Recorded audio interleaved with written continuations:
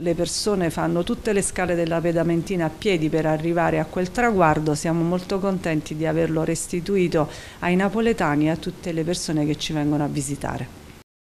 La recente riapertura del Belvedere di San Martino al Vomero ha visto al lavoro gli uffici tecnici del comune in collaborazione con quelli della quinta municipalità siamo intervenuti per ripristinare la porzione che era uh, danneggiata, quindi si è fatta un'importante opera di consolidamento della balaustra per scongiurare ulteriori anche cedimenti, oltre ad una riqualificazione di, di tutta l'area superficiale, quindi con la rimozione di tutte le scritte antestetiche, dei graffiti che nel corso del tempo erano stati ehm, eh, provocati quindi da, da, ragazzi. Un intervento in sé non complesso ma con un elevato valore anche simbolico perché la ostruzione che era stata posta sulla balaustra di San Martino negli ultimi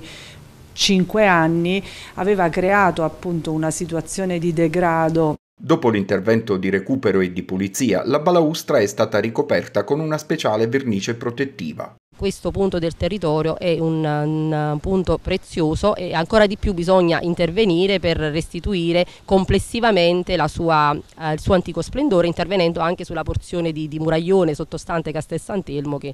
che bisognerà poi eh,